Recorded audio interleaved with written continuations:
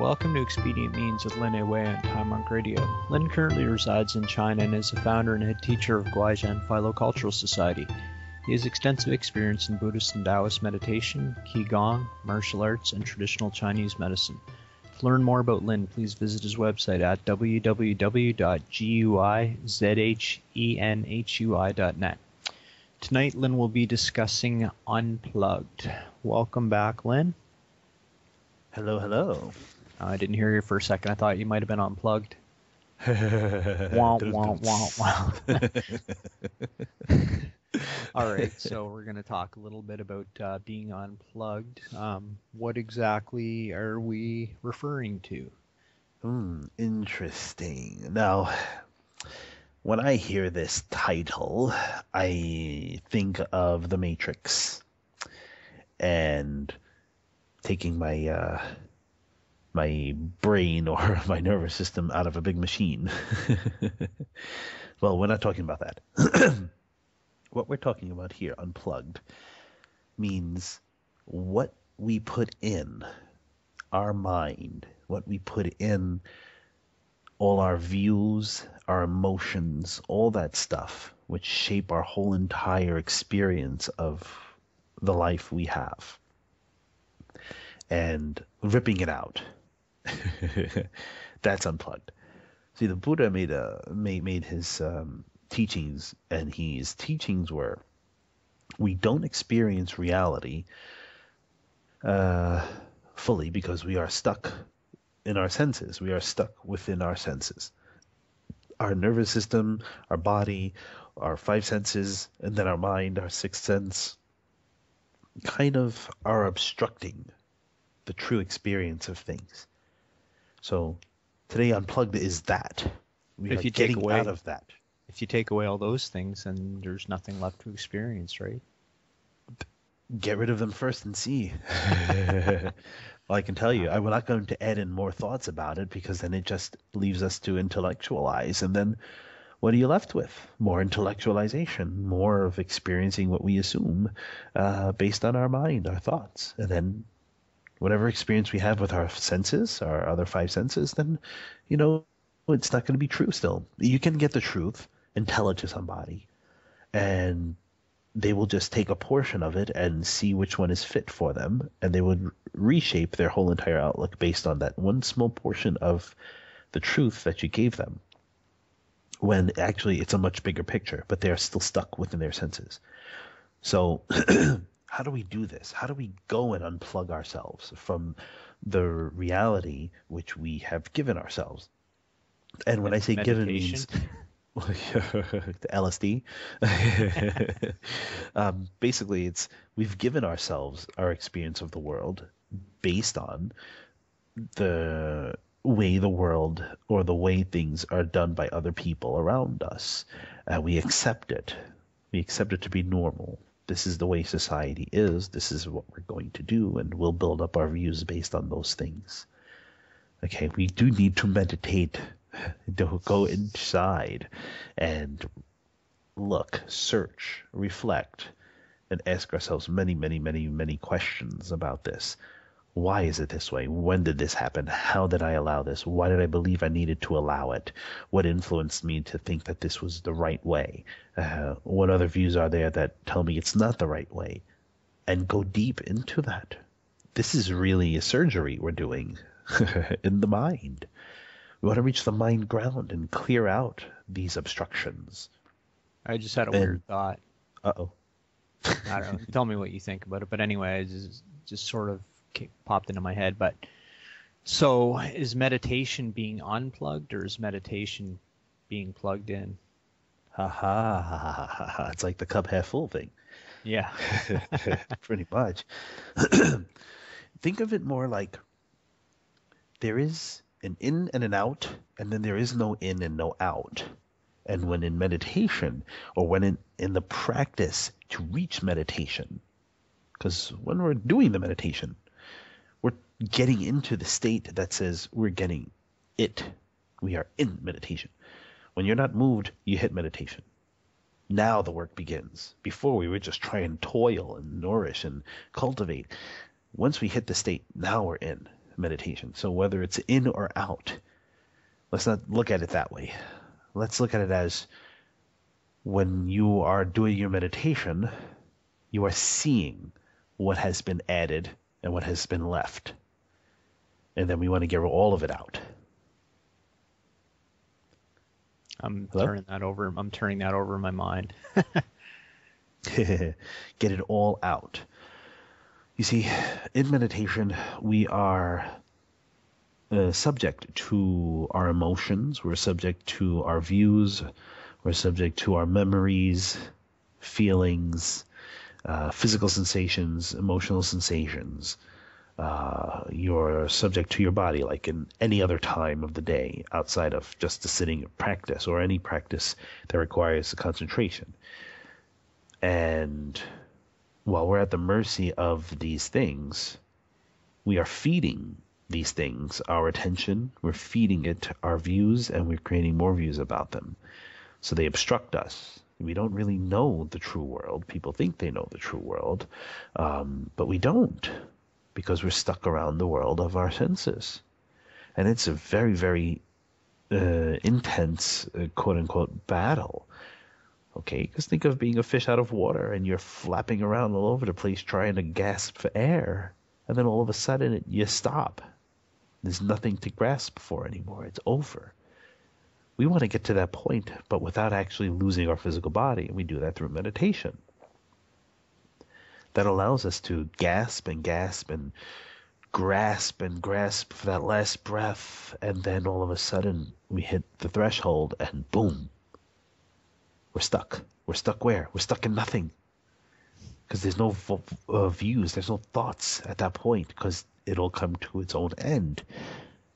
There's nothing feeding the momentum anymore. It's over with. Now we get to do the real work.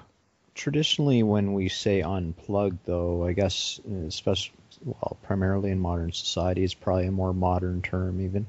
But um, you know, people associate that with getting away from the computer, leaving the cell phone behind, no TV, kind of going out to a cabin and um, kind of getting in touch with nature, right? Pretty much. Um, but then still, we still take all society and all our habits that we have when we're in society with us. You know, you still have a feeling, you still have a thought about these things. You're taking them with you. It reminds me of the story about these two monks trying to cross a river, and um, there's a woman at the river and she she can't walk through the river because she's probably a little too short or she's too weak and the river currents will push her down or something. So one monk carries her on her back. When they get to the other side, he puts the woman down, wishes her well, and the two monks get head back to the uh, to the temple. They get to temple. One monk says to the one who carried the woman, he says, "Oh my God, you broke the you broke the vows. You know, uh, isn't it true that a, a monk shouldn't touch a woman?" Sure. Is it true that we shouldn't hold them? Sure. So why did you do that? Why'd you do it? He goes, Well, I put her down. I left her at the end of the the other side of the river. You're still holding her. Yeah, I love that story. yeah, it's an awesome story, and it's like that for us. We carry all of our everything with us. so even if we left the cell phone home and we head up to the countryside for a nice two day vacation from quote unquote reality, um, we actually took all that with us because we're we're confirming that there is such a thing in our lives, such a thing in our lives that is so powerful that we have to run away from. So we're confirming that that's true, and that we have to get away from it. So we're con- confirming that our our ignoring or are pushing aside is true, and that is still false. Both are false. Those views. So we want to find the origin of these views. We have to reflect. We have to do inner reflection investigating the origin of our views, investigating where these things come from. And once you find the habits of our thought and the habits of our emotion and the habits, excuse me, of our speech and lifestyle, then we have to ask the, another important question. The million dollar question is, why do I still do this? you know, why am I doing this? Well, okay, so yes, we do still take those things with us, but um, when you're in nature, I guess you don't have as many external distractions, so you have more time to work on these things you've internalized, maybe, if that makes any sense. Yes, it does. It does make sense. Yes, you don't have all these other external influences. Excuse me. Um, but you still have them in your mind because we never let them go. We still go back to it. But at least we have a chance to, you know, cultivate or investigate without other types of distractions, which is very important. so we need those things sometimes. Well, I, I guess that's why you know most of the monasteries. Well, I don't know if most is the apt term, but um, I guess that's why so many monasteries and retreats are built up in the mountains or in the wilderness, away from all those distractions, right? Right, because people are so bombarded by these distractions day by day that they don't have the skill or the concentration power uh, to just cultivate in that mess. So they have to get out of the mess in order to cultivate it. Then when they go back to the mess, they're less bothered by it, but they're still bothered by it nonetheless. Right? But at least there's that retreat, literally, to get away from the mess we create for ourselves. I was asked during a presentation at a university uh, about why is the school I have, uh, why is our meditation done in the middle of a busy avenue. like, well, that's the best meditation. Like, what are you talking about? And it was that, sure, you can have all the quietness of the beautiful mountains and the countryside and all that stuff around you. But once you go back to the city, you don't have one ounce of concentration power. Or at least you're not affected as much, but you still got affected. Why not learn to boost yourself up or, or temper yourself with everything that's around you generally in your life. Why not? using the again, it goes back to using the distractions as expedients. Yes, and then once you get over the distraction, you can drop the expedient and move on. So we want to change our habits of our body, mouth, and mind. We want to change our views. We want to change our speech. We want to change our actions. And how well, do we do that unless we look in? And okay. unplug this literally getting out of our own cycle, jumping out of our own cycle of habits. So somebody just just starting out, say just beginning to practice mindfulness or meditation, would they be better off? And again, this sort of relative question, I guess, would depend on the person. But would they be better off starting in a, like a wilderness type situation, or would they be better off starting in, say, the city? Um, you got to see on the person itself, but right. I would generally say if they're in the city, then just be in the city. If the retreat is in the city, then just be in the city. If they have the means to leave the city and go out, then be my guest and do that too. You got to find what's comfortable for that person. Excuse me, generally. But if it's more like uh, people who don't have the opportunity to do that, well, then you have to start up with if they're going to want to take meditation, sitting meditation as the, the practice, then you're starting on them uh, recognizing the breath, being aware of the breath, how it moves, wherever. And then you give them an idea or a, a, a, a phrase to, to just concentrate on, but without reciting, just more of being in the state of investigating. And then, you know, you, you interrupt them a little bit. You cause them to be tempered a little bit. That's how we build our strength here and there. I guess uh, I was just sort of thinking that say the the wilderness type area would be more of a, a gentle way to ease into it, right? It would be. It's a much more appealing because you have the nice setting and everything like that, you know. And then you'll have uh, the retreats can be very expensive, as some people can't do that. So instead of traveling, you know, to the countryside or traveling to another country itself, just to find a teacher to help you on your spiritual path, why don't you just apply yourself to quiet sitting in your own house? Set up a certain time to just do that, whether it's 15 minutes or an hour, or it doesn't matter how long, as long as you have some quiet time you can reflect on. So you're not interrupted and you don't lose your concentration. In the beginning, we don't have concentration power, or we have very little at least 20 seconds is really hard to grasp of not thinking about what we're going to do later. You yeah, I, I, think that's one of the traps too, is that people think um, you know, I can't get it unless I'm on a mountaintop in the remote hills of Tibet because, you know, that's where the energy is highest. And, you know, there's no point even doing anything here because it's not, you know, a, a mountain on Yeah. some plateau You know, in Tibet. and it makes me laugh a little uh, because even our bodies have energy centers, and so does the planet. But though those certain energy centers are more concentrated and higher in vibration, it doesn't mean the rest of the place doesn't have energy. Any place can be a high vibrational place as long as you apply yourself in concentration. You apply your mind. So if my wrist is hurting, that means the energy flowing through there and the blood flowing through there and the nutrition flowing through there is not enough. So when I inhale, I'll imagine that energy moving to my wrist, to my fingertips. Exhaling, it will reverse back. And then I'll inhale, let it move through, and let it move back up. And then exhale, let it move through and move back up. Then I won't have any pain anymore. Ah, did I just create an energy field of, of uh, like a, a powerful energy center? Yeah, I did because I placed my focus there, my concentration there. So anywhere we go can be a high vibrating spiritual place because we never leave energy. We never leave energy. I've got a question for you. It's kind of maybe a little bit of a segue, but no, it's nothing too crazy. Do you think, like, say the uh, the electrical grid or the uh, EMF waves or any of that stuff? Do you think that affects us? Spirit, Yes, I guess can. spiritually and physically and mentally. Energetically it can affect us and then whatever thoughts we get from that emotional effect it has on us or whatever thoughts we uh, how do i say construct uh, will affect us uh, emotionally and then we'll further think about how that feeling is and create a whole notion about it and then we're affected spiritually. So everything does have its effect on us but understand that these are energy. This is energy. This is vibration. It's not separate from what will you what I would say we consider to be us. It's not separate. We just have to adjust our views.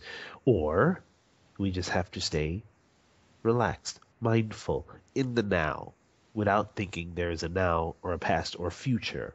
Just simply do what you are to do, and that's all you do. Anything outside of that is not what you should do. Simple.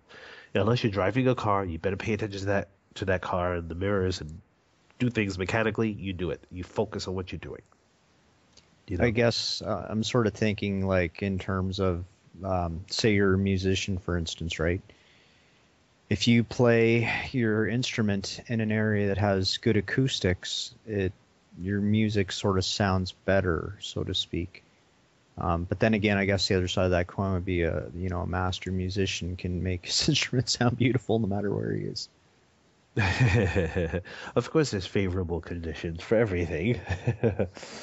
you know, most people don't want to live near a train station. And some people have no choice but to live near a train station because they made themselves not have the choice to move. So, uh, the electrical uh, field of that train station can cause havoc on the body and perhaps cause cancer too.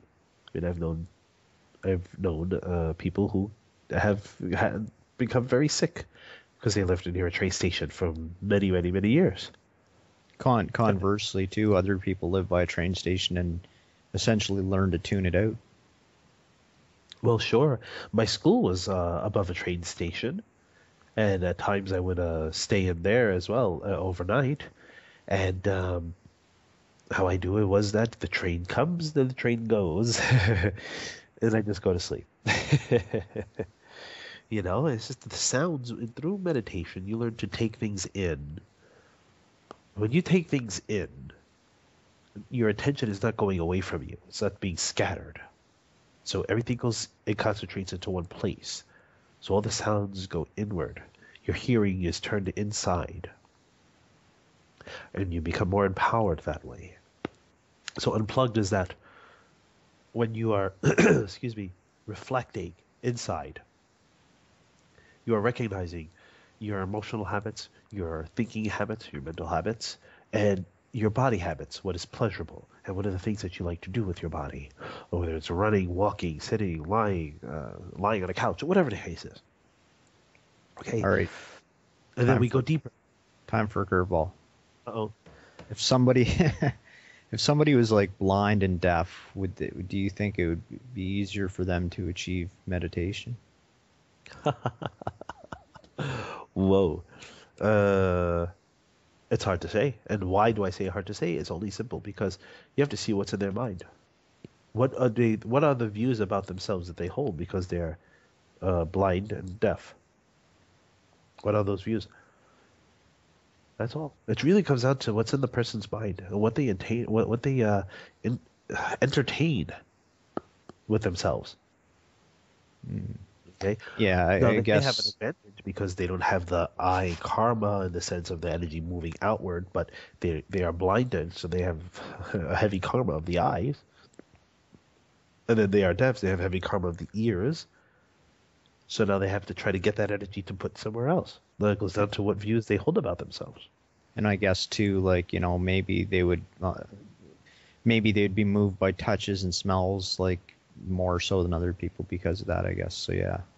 Well, because the uh, the hearing faculty and the sight faculty are obstructed, and so now that energy has to go somewhere else. Right. Right. That's all. Now, how do they cultivate? Really depends. So I'm not going to say anything else because then what happens is people say, "I'm going to go blind so I can attain the light." no, or I'm going to poke a hole in my ear and you know go deaf so I can attain enlightenment. No, it doesn't work that way. It's really up to the person's mind. Are they able to sit? Are they able to concentrate? Are they able to break through their attachments of their thoughts? If they're not, they're not getting anywhere.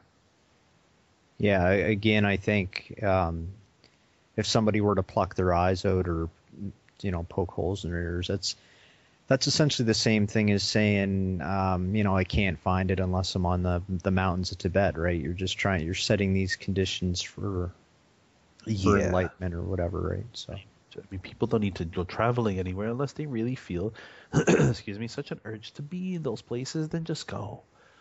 But truthfully, we can do all of it right in our bedroom, or right in our living room, or make up your own place in your house for cultivation. And it's not just a few minutes a day. You try to be like this all the time. You try to uh, check what's going on in your mind, and you try to change making new habits, making that energy that you had for something go somewhere else. And that habit should be wholesome to influence and empower uh, the habit of looking inward and the habit of attaining your enlightenment. Planting new seeds, you know, you plant seeds in the in the ground and you get a fruit. Our cultivation is just that. So when it's unplugged, like again, I'm referring to the title of this because it's it's it's really uh, a, a, I Deceptive? like idea. Yeah, it's just that we are jumping away or transcending or going away from our usual ideas of how we live and recognizing how they have been uh, created and then our attachments to it, why we use those things. And then we change them. And when we change them in our thought, and we change them in our body, and we change it in our speech, we start creating a new habit energy. That habit energy influences the body, it influences our cells, and influences our nerves. And then we create nerves that uh, are formed around that kind of habit energy. Okay, so really we're looking at the mind ground in the sense of our body being this field of senses that are formed from our thoughts and formed from our habits because of those thoughts. And then we have the certain type of receptors to accept those things. And when we don't have it, we go into withdrawal. Okay, people who believe having sex and having that gratification is the pinnacle of human existence will stop at nothing to have that. And when they don't, they just sit there going crazy, figuring out when they're going to get it. So, could we say that being unplugged is sort of a metaphor for, I don't know if this is the right way to say it, but not having outflows, or would it be more like not not having inflows, or I guess That's more uh, needing further explanation. Uh, without having outflows, is we're not moved by the things around us. We're not letting our, our sight be thrown and grasping at the things around us. We're not falling into a, a whirlwind of craziness and tornadoes in our emotions and in our mind. So yeah, unplugged is just that metaphor that just says, get out of our head and stop believing in what we think and start investigating what we think. Is it real? Where do we get it from? We find ourselves living other people's ideas. So if there's outflows, doesn't that necessarily mean that there must also be inflows? Well, when you cut out one, the other is gone. yeah, okay. There is no inflow, and there is no, truthfully, there is no outside, and there is no inside. But because we uh, we perceive and assume by our thinking that there is something to gain, then there is something our energy goes to. And thus we create a habit of that. And that's where our energy goes. It goes down to our intention, it goes into how we react, it goes into what we do with it. So the whole interplay of our bodies' actions, our minds' actions, and our speeches our speech action, like how we do with our mouth, how we do with our body, and how we do with our thoughts. These three things are key uh, when it comes down to our cultivation. We have to get a hold of that. That which is unwholesome and causes damage to our body, we should not partake in. That which drains our energy out, uh, uh energy out from our senses, six senses, uh, from our body, we should not partake in and it's hard because so many things we built views about being so good for us are actually some most of the things that are not very good. And why they are not very good? Because even though not everyone wants to be a buddha or not everyone wants to have some wisdom and not everyone believes in this method you know but it's not good for us because it takes us away from that way. it takes our energy away from fulfilling the idea or fulfilling the goal or fulfilling our, uh, not even fulfilling, I should just change that word. It's more about seeing what is actually there for us. Okay, here's kind of another odd question. Uh, cultivators generally look at outflows as a negative thing um, is there a situation where an outflow can be a positive thing? And I guess I know it's probably going to come down to views, but I'll I'll let you explain it better. Well, no, there is no good out of outflows because when we talk about outflows, it's more about our senses, our six senses, okay, and where that energy goes and the vo- the ideas we hold about those things. Okay, so people seeing a pretty woman in the street wow, she's really something. What says that she's really something? The mass majority of people? Us? Where do we get the notion that that is actually the right thing? So we put, or actually that way. So we put our ideas and we put our habits into this direction, and our energy goes there. And everything associated with that kind of grasping manifests in our body and in our mind and in our actions. Same thing with hearing, same thing with food that we taste. Whatever we feel is uh, we taste is uh, delightful, we'll go for more. Whatever we like that is uh, good in, in, in uh, sound, we'll go for that more. Whatever we like to touch because it's soft, we'll go for that. Okay? And how we like to feel with our body, we'll go for that too. And whatever things we like to think about and imagine all the time, we'll go for that. Those things take our energy away. They scatter us. We want to bring all that energy in because so it says, what good is that? Well, they never tried. No matter how much I'll say how good it is for you, it doesn't matter. What matters is that if no one's ever done that, or people have not tried to do that and really applied themselves to doing it, they will never know what it truly is about. So they cannot say oh, it's useless or it's stupid or this and that. Well, everyone have everyone has given in to their senses and look where the world is today why don't we try to go in and see what the world is like there? Can you explain it in like three sentences?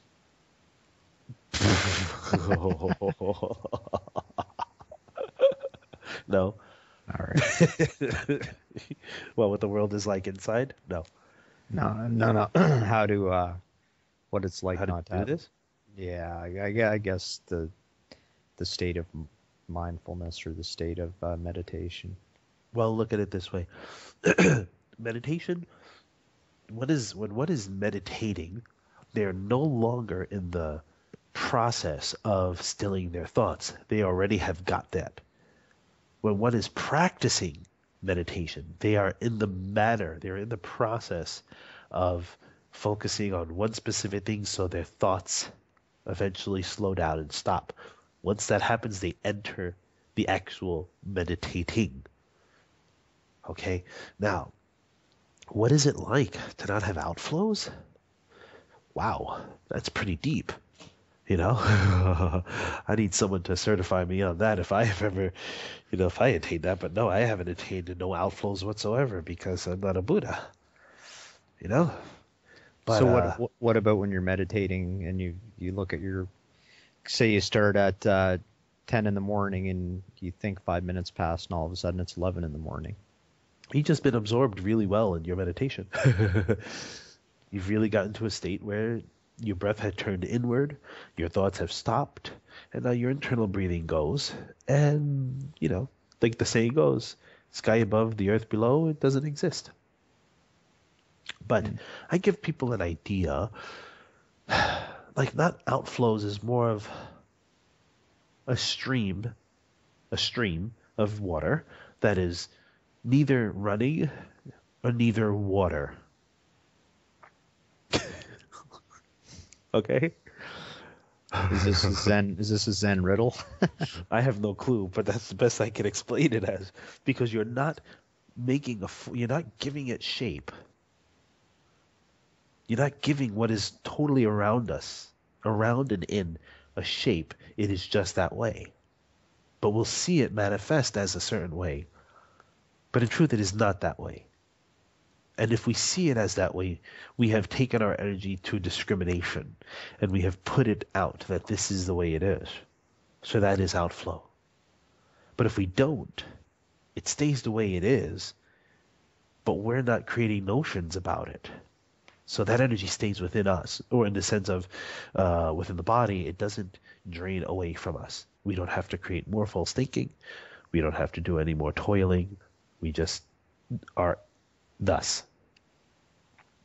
But pre- really, the more one is explained, the more one tries to explain it, it's not going to do anybody any good. Cultivate, do it, get the work done, and then start talking about it. But talk about it where and when it's necessary, not just, you know, let people get an idea. Oh, maybe oh this tastes like strawberries. Oh, strawberry tastes sweet, and this and that. Okay, good. Then I know what it tastes like. No, you can intellectualize the out, no outflow state, but truthfully, getting it is totally not what we intellectualize. That's why there's mm-hmm. two ways. You can assume intellectualizing, oh, I understand what Lao Tzu is talking about. I understand what the Buddha is saying. I understand what Zhuangzi is saying. I understand what Confucius is saying. Oh, I get it. All right. Oh, yeah, I'm pretty close to being a sage. I pretty pretty much understand exactly what they're saying. Okay, good. Where's the practice? Someone slaps you in the face, you going to sit there with the you know with the chain whip and try to cut their head off? No. Why did you have the conditions in the first place to let someone feel that they could actually slap you in the face? That you're not a sage, and if you are, and that happens, where's your teaching that allows them to wake up? And if that doesn't happen, why you allow yourself to be in such a place? I mean, we have to ask. We can assume we understand all these principles, but there's no practice behind us because we still get taken for greed. We still get taken by praise. We still get taken by jealousy. We still get taken by desire.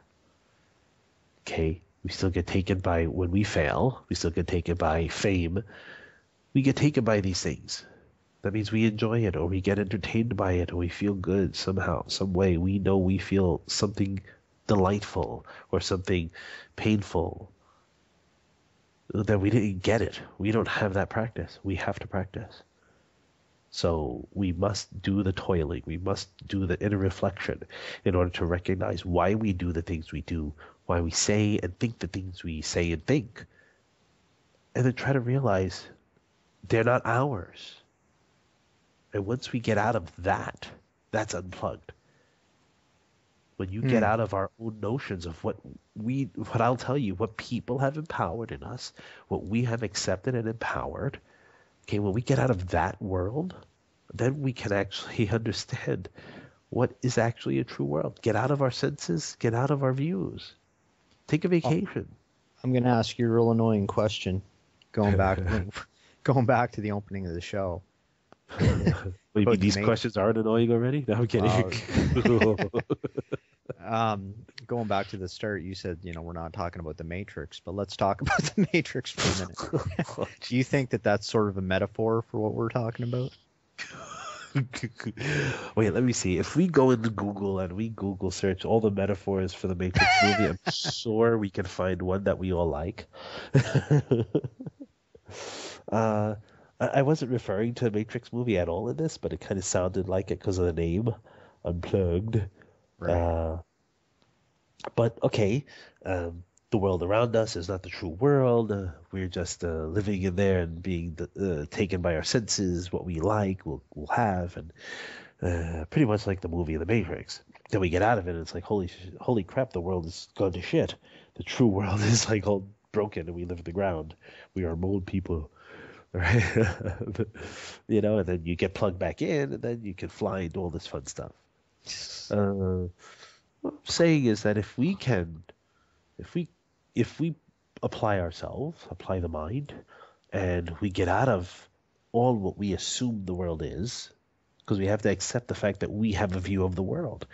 Now, what if we don't have that view anymore? What is the world then? People would say, well, I'll make up another view and put it. No, the point is not to make any more views. See the world without your views. What is it? Does it even exist anymore? Right? Let's do that first. After that, what can we do? Or better yet, what can we not do? Okay, there's nothing we cannot do at that point, but we have to do that. And the more practice, the more energy, the more vibration, excuse me, uh, that the more higher of a vibration we will be at, and things change in the body. Do you believe I was having this conversation with my middle school students? We were talking about how the brain, how the body, uh, can actually help heal the body when it's sick. And I went further and I said, How about the mind? And they pointed to the brain. I said, Wrong. Do you even know where the mind is? They said, It's in the brain, right? That's where we think. I was like, No, the... and I'm going to explain what the brain does. I was like, But that's not the mind, is it now? And they know. It's like, well, if you can do the mind's in the liver, everybody knows that. well, for the men, it's in the groin, right? Sadly, in many cases, yeah. so that's where we just the guys put well, many can put most of their focus and energy there, and that's that's it. But one kid left the classroom after I went back to my uh, my department, my room, my office, and he was talking to me about it, and they kept bringing up the movie Lucy, where you know using the mind and all that stuff, and the brains, uh, uh, different centers of the brain can do all these things. Certain percentages of the brain are being used, many aren't. So, if we were talking about that, I said, well, instead of thinking just the physical aspect and even the energetic aspect of it all, what if you take both of them and you don't separate them at all? It would see that one relies on the other and not one other is better or more important than the other. Now, what if we throw in a certain type of method of thought? Because thought will be like the electrical charge for the brain, let's say, or for the everything else. If we throw in this electrical charge and that thing can nourish or help us, uh, help the energy of the body uh, go faster. Okay, how about that? Or even slow down. How about that? He goes, that's pretty cool. I was like, imagine it could be that way. He goes, how do we do that? I said, how about you learn how to meditate? Because if you can't know where your mind is, or if you even just can't cultivate or can't concentrate, how are you ever going to even get close to that?